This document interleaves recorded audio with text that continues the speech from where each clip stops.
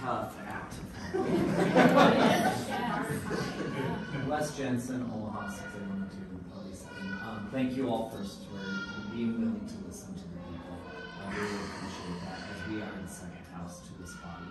Um, I, what, I, what I want to talk about today, obviously there's numerous research that shows the social benefit to our students when they receive social emotional learning.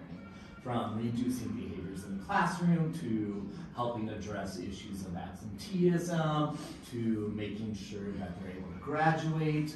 Um, but one thing that um, I have actually was just made aware of uh, this morning and did a little research is the financial benefit of social emotional learning.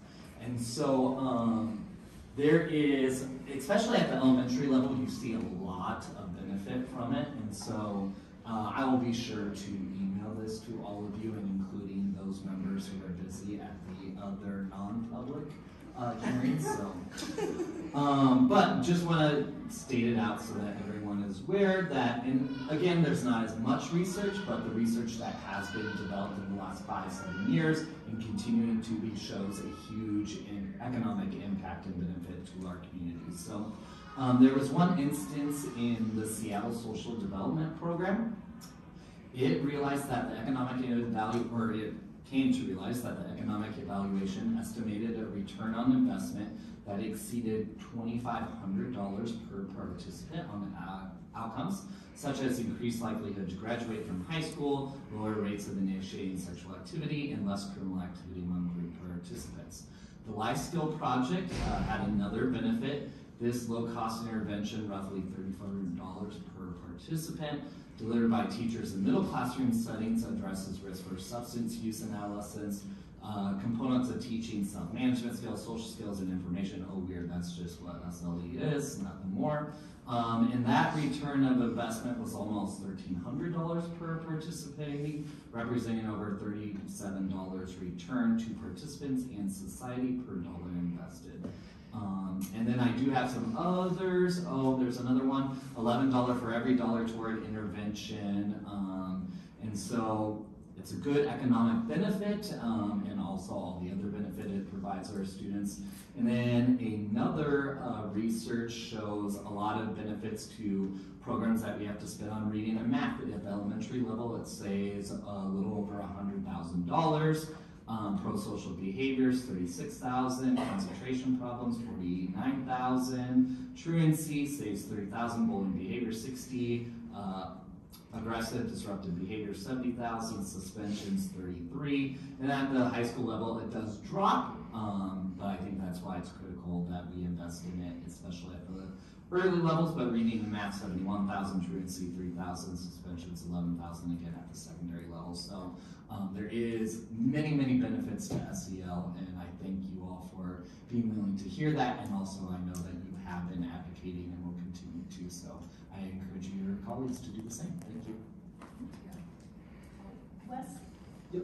Um, so some of the data that you just shared, uh, there's a clearinghouse that I've worked with since I was a freshman senator called the Hunt Institute. Are you familiar with that? I am not. I strongly recommend that you look into it based on what you just shared with us. No, will do. Thank you. Appreciate you. Next.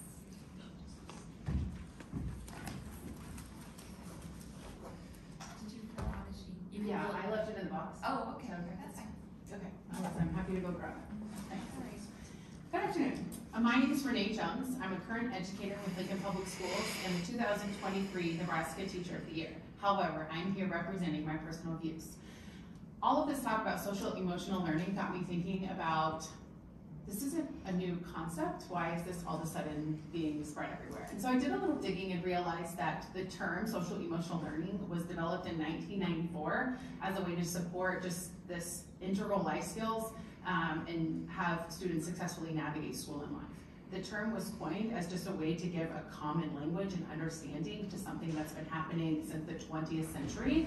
Um, an example being the great philosopher John Dewey, and he was born in 1859.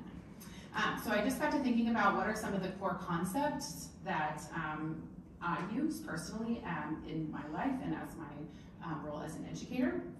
Um, because I believe that social emotional learning is really comprehensive Um, it's really integral to comprehensive education and focuses on developing students' emotional intelligence and interpersonal capabilities. Um, and SEL is founded on these five four competencies, and these are kind of the ways that I use them. So self-awareness, the ability to recognize and understand your own personal emotions, values, strengths, and weaknesses.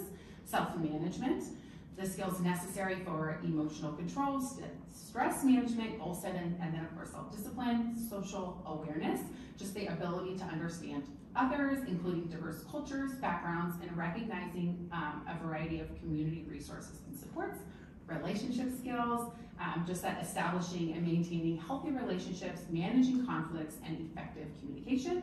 And then, of course, responsible decision making, making constructive choices about personal behavior and social instructions based on ethical standards, um, safety considerations, and societal norms. Um, educators and schools play, personnel play an instrumental role in the successful integration of SEL in our classrooms. Our students spend a significant amount of time with teachers, um, and I think if we took a moment to pause, I imagine most of us, I certainly do, have um, the incredible experiencing of being able to name at least one teacher who had a significant impact on our own development. Educators are important mentors. I know that Miss Berner, Mr. Musil, and Miss Goodrich were three amazing educators that all played a huge significance in my role, in my personal development. Um, social emotional learning is vital classrooms due to its multifaceted benefits. It supports academic success by enhancing students' abilities to manage their emotions, stay organized, make responsible decisions. It, it bolsters emotional well-being by teaching students how to understand, express, and regulate their emotions, thereby reducing stress and promoting mental health. SEL also fosters essential social skills such as empathy, perspective, and relationship building, which enhances interpersonal relationships. By teaching impulse control and conflict resolution, SEL helps decrease classroom behavior, creating a more conducive learning environment. In the long term, SEL prepares students for challenging challenges beyond the classroom, equipping them with critical life skills for success in higher education, careers, and personal relationships. Moreover, it promotes equity by fostering understanding and respect among diverse students um, contributing to a more inclusive school environment. And I, of course, just want to say um, thank you for this opportunity, and then um, thank you to all educators who are there and getting ready for their school years to begin, and just support all kids. Thank you.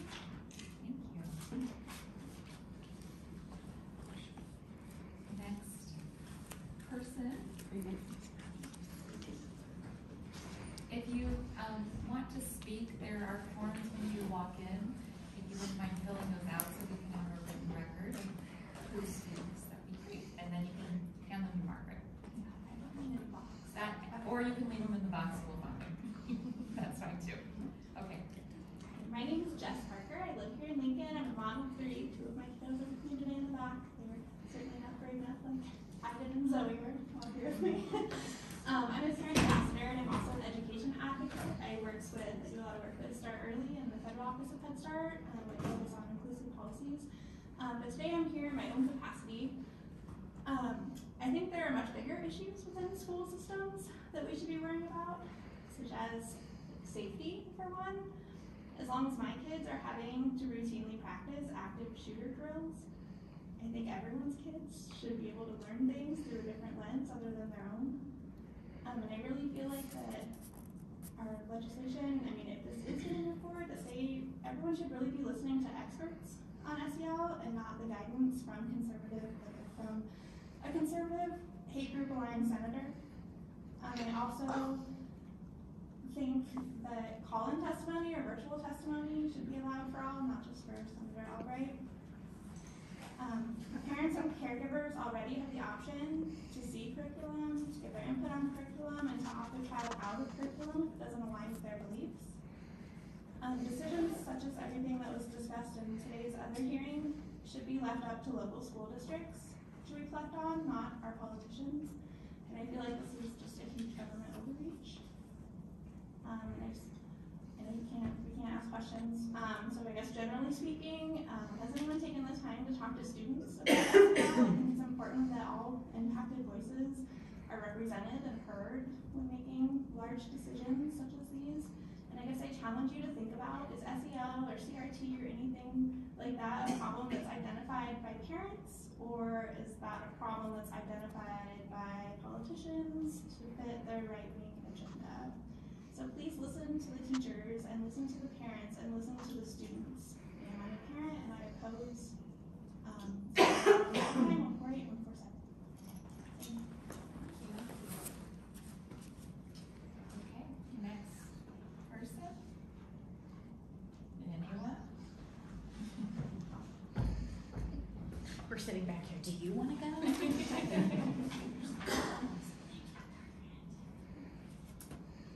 Welcome. Thank you.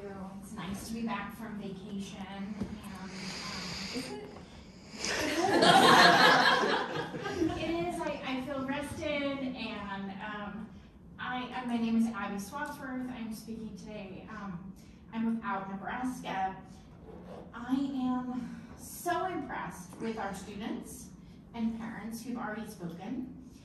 Um, I didn't prepare anything formal, but I do want to say I mirror a lot of what's been said in regard to the fact that SEL is being used as a catchphrase for culture war issues that some of our legislators want to push through rather than addressing the real issues facing students um, in today's schools. Uh, I would say that school safety and teacher overturn is um, both huge issues. Um, I would say that the mental health of our students continues to decline and that our students continue to struggle and that the learning that is undertaken as a part of social emotional learning is exactly the kind of learning that can help students address those issues. Um, when we talk about student absenteeism, um, we also have to talk about students who do not attend school because they're being bullied. Um, and I think that includes a lot of our black, brown, indigenous students. It includes a lot of our LGBTQIA plus students. Um, and that there really is no way to teach all students without teaching about those diverse cultures. Um, and that in order to do that, really, we must examine ourselves as white people and what that means. That doesn't mean um, that we are discriminating, excluding, and indoctrinating people, as we heard uh, DEI referred to in the other meeting today.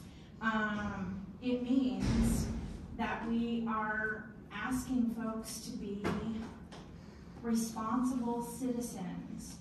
And I think that is really what is at the core of what public schools can do and why this education can be so important. Um, the fact that it has been politicized to the degree that it has is deeply disappointing um, because I do believe the majority of senators would much rather focus on issues that really do concern schools and teachers and administrators, and I don't think this is one of those issues. Um, and I would be happy to try to answer any questions to the best of my ability. Thank you. Um, You've been here a lot this year. Yes. I'll lead with that. And so the question I have for you, based on what you've observed this year and based on what you just shared with us, why do you think we have so many bills that are really smoke and mirrors about the culture wars? What do you think the intent is? Well, I think the intent often with that sort of legislation is don't look at what's going on behind the curtain as we change funding for public schools. Um, don't look at what's going on behind the curtain as we make it easier to carry and conceal weapons. Don't look at what's going on behind the curtain here as we take away the rights of women to be autonomous people in our society. But instead, look at all the boogeymen that we have. I also would say that these bills are primarily generated out of one or two very conservative groups um, that in Nebraska, we can directly tie some of the parents' rights groups two groups that have been named um, as hate groups, two groups whose ministry is about erasing um, the existence of LGBTQ and especially transgender um, people in the world. Um, and so I would say, really, you know, things come late often to Nebraska. Many other states have been dealing with legislation such as this for the last several years. I think it took time for this ideology to take root and to be brought forward. Um, unfortunately, I expect we'll be fighting these battles for quite a long time. Do you feel it further polarizes us as a state? I do, and I don't think that it is really what most Nebraskans value. Um, I have found that Nebraskans really value being good neighbors, that we overall believe in fairness and kindness. Um, I don't know that if we really talked deeply, um, disagree on a lot of these issues. I think everyone wants to protect children. We don't want your straight children to be gay. We want our gay children to grow up. Thank you. Next. First.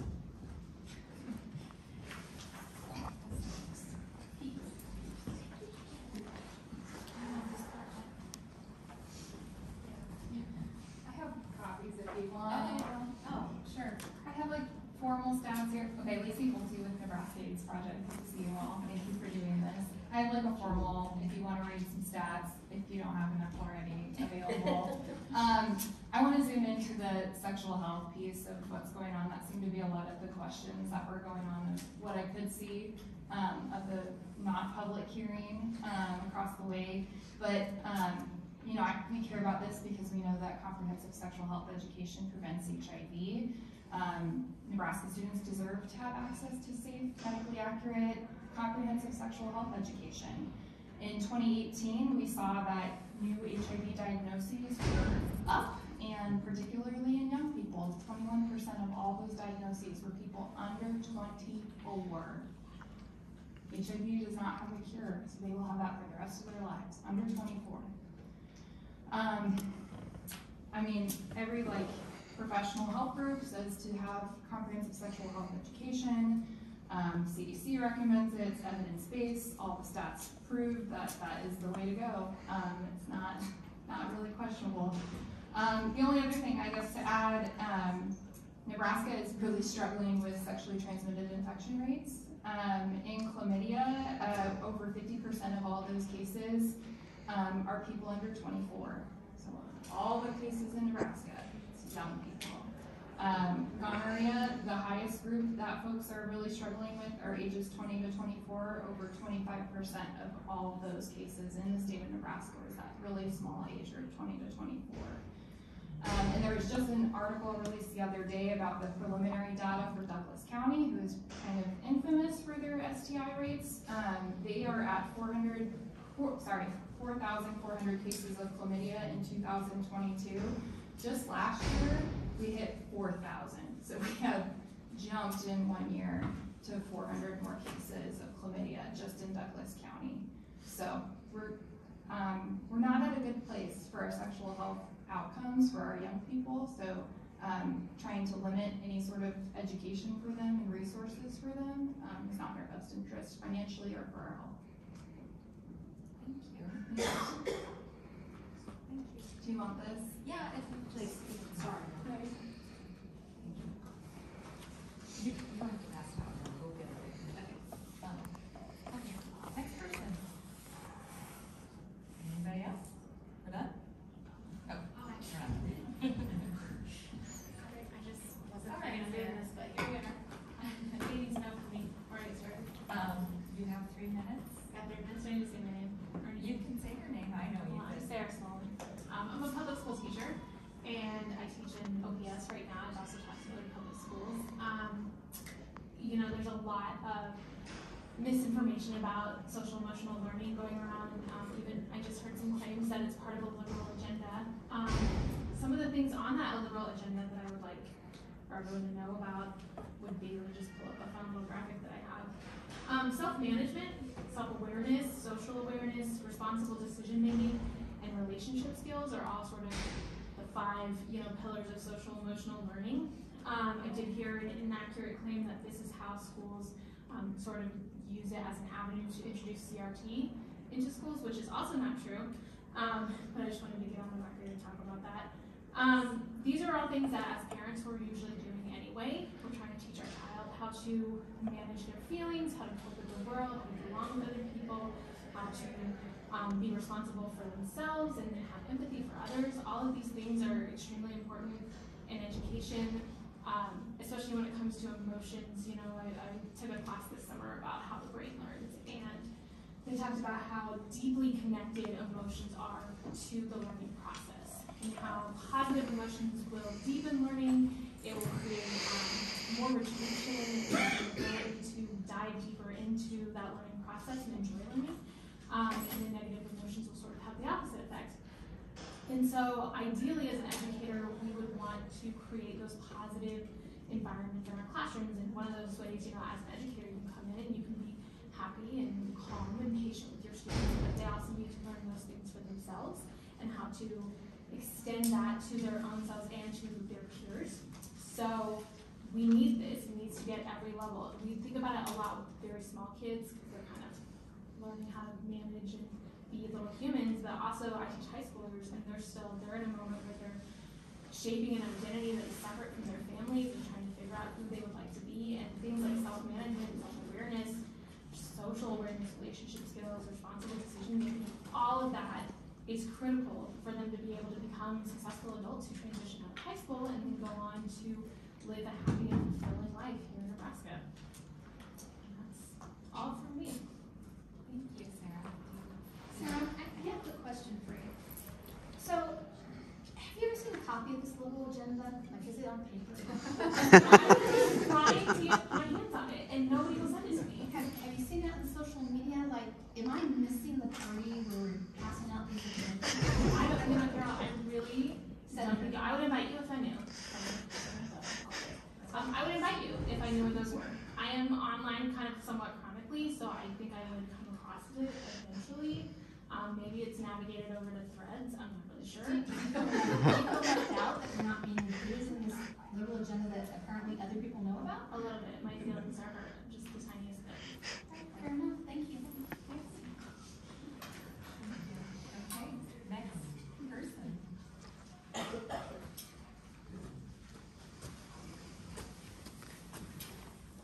And if you haven't, there's a sign in a form. I'll grab one of those. I I turned around and came into a little dark, door- dark room over there. I turned the light on so other people Um, anyway, I'm Gina and I will one of those forms in a minute.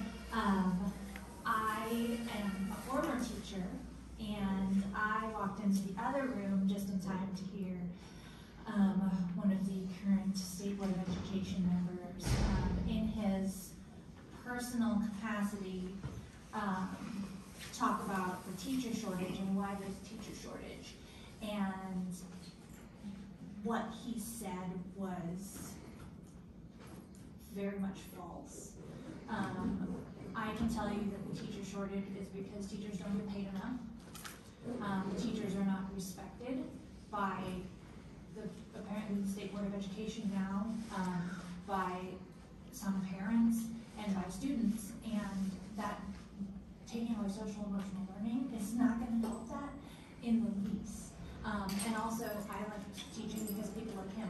So, um, I just, that's, I, I walked in to that and I was like, I cannot stay in this room very much longer because, um, it will not be, it will not be good. Um, so I also don't get the liberal agenda mailings, um, so I, I don't know why.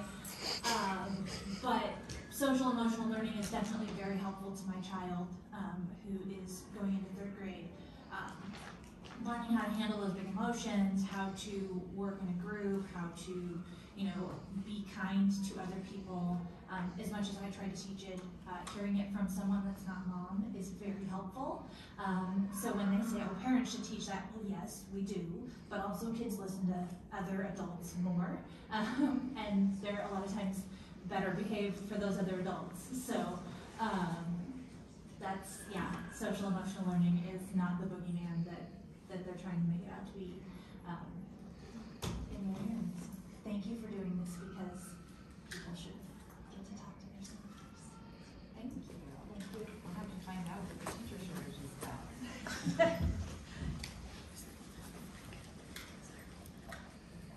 I wasn't gonna talk today, but I decided, um, I'm a boomer's child, so I'm a Gen X child. So our social emotional learning, let's see, when I was in kindergarten, what I remember about kindergarten is, believe it or not, which was a long, long time ago. state your name? Oh, Michelle Bates, sorry.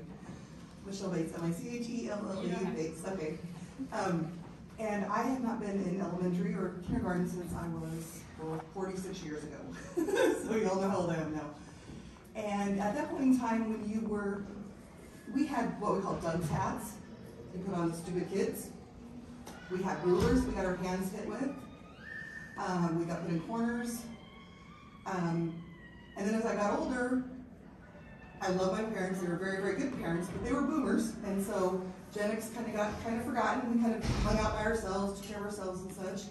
And so there, our social learning was with each other, you know, we, we kind of learned together. That's not a good way to grow up, that's not a good way to learn. Um, you ended up with some kids that were, you know, bullies, you ended up with some people in my generation who just are, are lost now as adults. And so social learning is important it teaches you how to interact with others. So when I became an adult and went to work in the society after college, I was at a job and the owner was um, the owner of a long-term long-term care company, owned nursing facilities. He actually had to do a training with supervisors, with nurses, with administrative about how to socially engage with your employees, how to have empathy, how to have kindness, how to work together, how to be a team as adults, we were having to be taught that because that wasn't taught to us as we were younger, or it was not, I guess, it was not part of the curriculum like it is now. We shouldn't have to be teach adults how to be socially acceptable and how to socially interact with other people. That should have been done when we were children, when we were in school. So you have to have that. You have to have it as an adult. You have to be able to engage with others without conflict, be able to have different opinions, be able to voice your opinion without criticizing another person. And so social learning is something, it's just, just common sense. It's just how you should raise your children and how you should be, and schools should also teach that also. So I guess I kind of want to give you an example of, I was one of those who didn't learn social acceptable manners, had to, but I did as, I did, my parents did, but not at school, but I did as an adult also too. So, and you have to have that to live and to be able to get along with others. If you can't get along with others, then, you know, you'll be awful lonely. so, Thank you. Um, would somebody mind just shutting the door? Sorry, just the one right there. Realize I probably could have asked that like an hour ago. Um, anyone else wishing to speak? No? All right. Really? Last chance. There's a lot of people in here who haven't spoken yet. I know, I'm like, I don't want you to feel like you definitely don't have to, but also. Guilt. No. Hi, another one of those only intended to come and, and listen and provide, uh, support as a human being and bring my daughter, who will be a future teacher, um, in another year, she'll, she's, um, gonna be trying to be a teacher. And what's your name? And my name is Abby Burke, um, Dr. Abby Burke, um, not the kind for medical emergencies, the kind of re- researches stuff.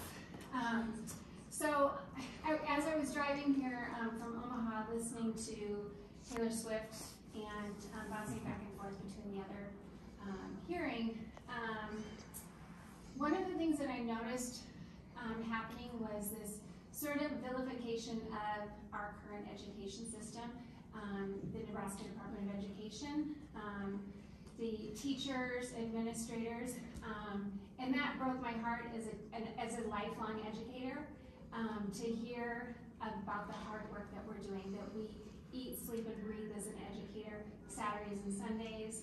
I mean, we, we live for those students. Um, and so it really broke my heart that, um, that, that those folks are being vilified.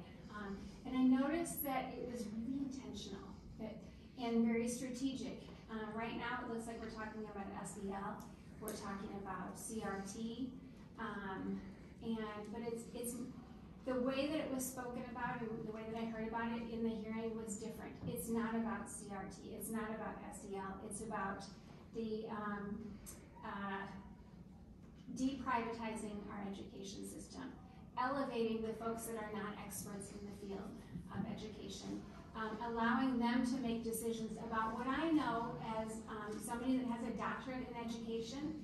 I have a body of knowledge that um, my husband doesn't have. Um, he knows a lot about the nerve health, health sales industry. I don't give him input on that because I don't know about that. But I know a lot about education.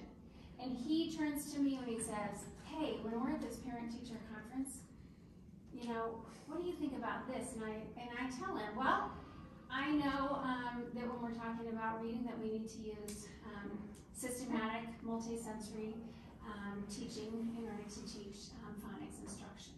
Um, and so he says, okay, well, then you can talk to the teacher about that. Um, and you can have that collaborative conversation because I'm also an educator. So I want us to really think about why are we here? What is it really about? Um, is it about social emotional learning? Is it about is it about CRT? And what, I forget what the third bullet. What's the other LR? Comprehensive sex education. Thank you. Thank you. Just as important as the others, but um, so so I just want us to really think about is that what it's really about, or what is it really about?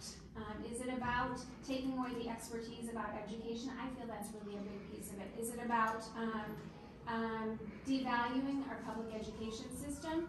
Is it about supporting and taking tax money, um, tax credits from our general funds to be placed um, to support um, private schools where students can be discriminated against, um, things like that. So I think, you know, as we're talking about this, I think we sometimes we need to take, take a, um, a, you know, a higher look from the balcony and say, what is this really about? Because otherwise we might get stuck in this conversation about SEL or about sex ed or about um, um, critical race theory. What, let's get it, let's get it into, into the why behind that. Why is that the boogeyman today? And that's, I'm, you know, as I'm driving down here, course I needed to take a break and listen to Swifty and then come back because my blood got a little elevated. Um, but I do, I think we need to really um, dig in and think about that, uh, about what it, what it really is. Um, and today these happen to be the three boogeymans. Thank you. Yes. Do you think it's about a fear or of being inferior or a decrease in white supremacy in, in, the, in the United States? Um, I, I, I that, that's really big. You want to ask me about phonics?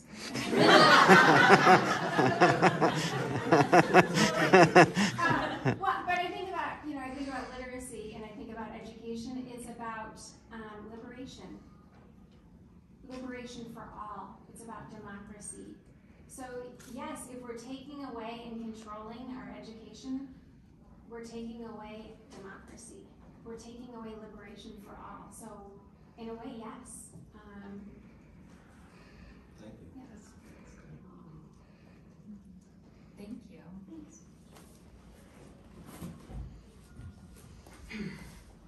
Hi. Hi, uh, my name is Carol Dix, and um, just to say, yeah, so it's all about privatizing almost everything.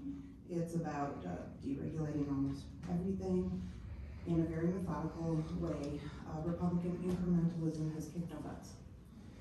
Um, but it's also about hate, whether real or a tool from a policymaker. And it's about hate that's been part of our country from the beginning, before the beginning. Um, and so it's, it's used and it's so horrible that it's being used. So we need to speak up. We need to be like uh, strategic, long-term, short-term, you know that, but asking you guys to mobilize us, please, in that process. Um, cause twenty twenty-four is gonna be very important, but our twenty twenty-three elections were very important every day of this legislature, and this is being mimicked in different ways across the country in red states and supermajority, majority. Um, but a lot of people are too busy and too distracted to know about it, so we've gotta have hard conversations with our neighbors, our pharmacists, the grocery clerk, family, friends, uh, everybody, so, thank you so much for everything you do. Thank you. Anyone else? Okay, come on.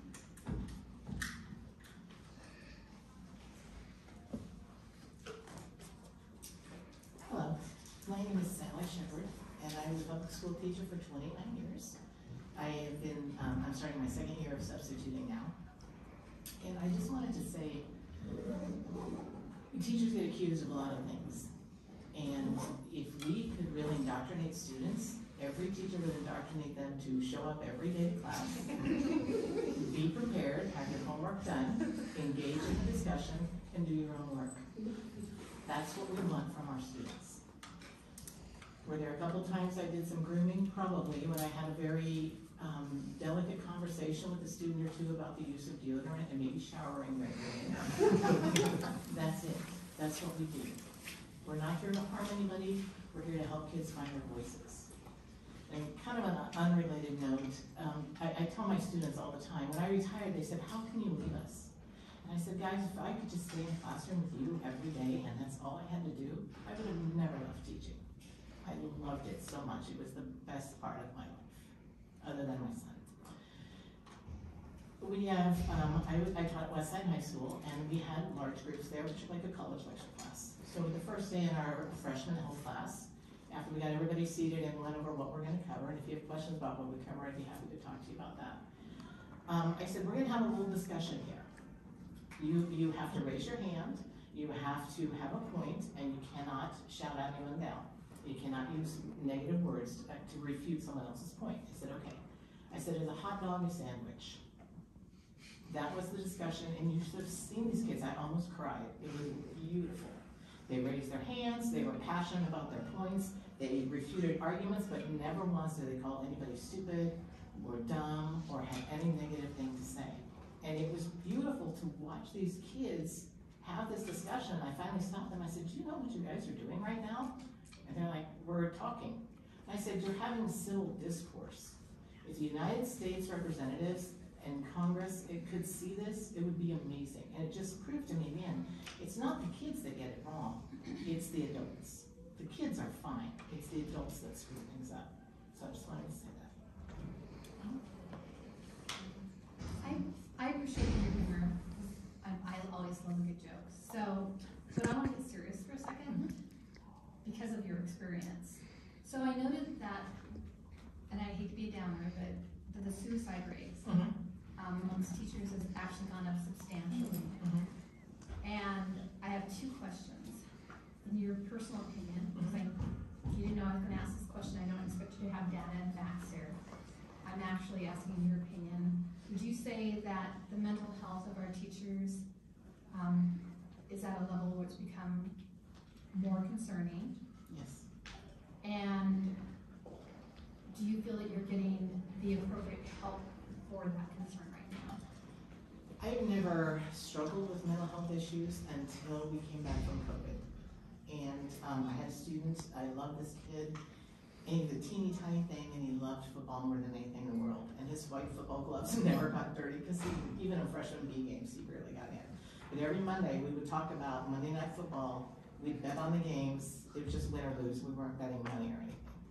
And one day in the alcohol unit, he kind of hung around after class, and I said, what can I do for you? And he goes, well, you know, we're talking about alcohol, and um, my dad's an alcoholic, and my stepmom owns a bar and makes it hard. And I'm just like, I didn't know what to say to him, you know? And I thought about that day driving home, and I just started bawling on the way home, and I'm kids just have a normal childhood? Doesn't have to be great, doesn't have to be special. Why can't it just be normal? And that was the hardest thing for me. Uh, dealing with all the COVID and I was tired and stressed and then this came out of the blue. Kids will tell you things out of the blue and you're just not even prepared for that. And my son is a police officer and we talk about all the time how we are not prepared and we're not trained to deal with all the mental health issues that we deal with and it weighs on us as well. If I could have taken Les home to live with me, I would have. Because that poor kid doesn't deserve to go through that. The three, I, in twenty-nine years, I never filed CPS report until my last year and I filed three. Two girls came to me to report a sexual assault, two separate girls came to me to report that, another student reported me that his parents were abusive to him. And it's, you have so much weighing on you and it's just so hard. Now, my district has been fantastic about that, about providing support for teachers, about if you need a mental health day, you take one. But I think, yeah, and when I talk to younger teachers, they really struggle with it. And so it is harder, but I think um, school boards and I think admin understands that and they've been through too, because I check in with my admin. Are you guys doing okay today? How are you today? You know, because they struggle as well. But it is a lot different, things that, kids will tell me things that I never saw. I was at a football game, working a football game one night on the chain gang, this kid I had in class, he was doing photography, we're just standing there talking, and he said, your, your son's a police officer, right? And I said, yeah, he is. And he said, my dad was too, and I said, oh, what's he doing now? And he goes, um, he died, he committed suicide. And I'm like, and then the ball moved and I had to go running away from this kid, and I'm like, oh my God, it's a Friday night. And now, so I talked to his mom about it, she said he's never told another teacher that. I'm like, they unload things on you when you just least expect it. And that's just really hard for teachers sometimes. I appreciate your honesty, thank you. Thanks. I, I got to work with your daughter and she's wonderful. Thank you. Anyone else wishing to speak?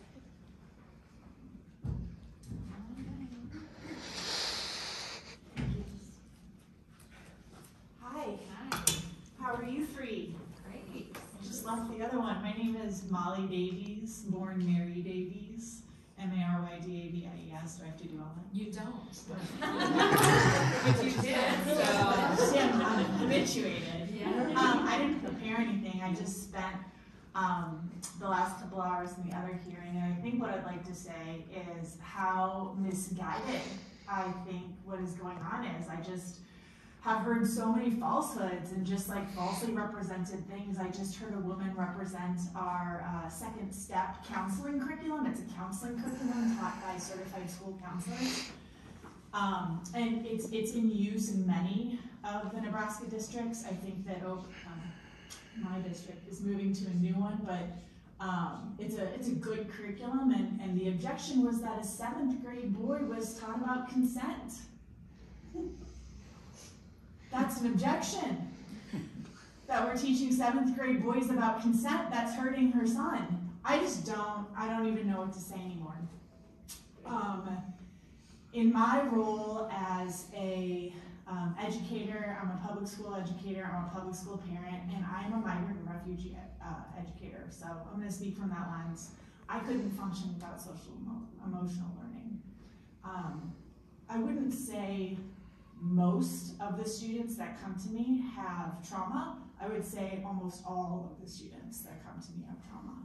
And so the ability to process what they're experiencing when they come to the United States, but also what they experience because of Nebraska sometimes. I know that we have all read um, the articles about the abuse of youth, especially migrant youth, in the agricultural sector and in fast food. That is happening in the state of Nebraska. I have reported that to the U.S. Department of Labor. Um, the reality that so many of our kids are trafficked into the states that they end up into where they're living with somebody who is identified as an auntie or an uncle, but it's not an auntie or an uncle, and they're working off a debt. Um, when they're early in the United States, I have kids that are in school all day and that are working from four o'clock until midnight, and then they show up the next morning at 7:35, and they're expected to be ready to learn. Um, and we need to take care of them. We need every resource that we can possibly access for that, and social emotional learning is one of the top ways that we can get there. The misrepresentation of social emotional learning as CRT or the equation of um, CRT and culturally responsive pedagogy is just absolutely a recharacterization and a mischaracterization that is detrimental to our students of color. And um, and really all of our students because if white kids don't understand reality and if, if if white kids don't have the capacity to manage their own emotions and to identify the reality of our history then they are also incapacitated. Everybody deserves access to a good curriculum. And the last thing i want to say is there is a, a piece of this that just befuddles me which is we know because there's lots of edu- educational research that shows this we know that a good SEL and a social studies curriculum that actually teaches the truth about American history is one of the things that supports greater academic access for students of color. We are in the middle of a fight in this state to uh, decide whether or not we're going to spend money from our general fund on scholarships, and much of the justification for that fight is that we need to serve students of color better. The same people who are advancing that are often the same people who are saying that we shouldn't be teaching this. And those two things don't go together. So either there's a there's a future danger that we have to be looking out for, or there is a complete hypocrisy that is on the table right now. And one of those two things has to be true. That's all I have to say. Thank you. Any questions? You know, um, one thing that you can do to impact social emotional learning legislation is to Oh my god, I knew you were gonna say Yes, Molly. Thank you. Uh, I had to, I had to get it in, Molly. Yeah. Uh, anyone else wishing to speak today? Okay, I think that that's gonna then conclude it. So thank you all. Thanks so much for your time and attention.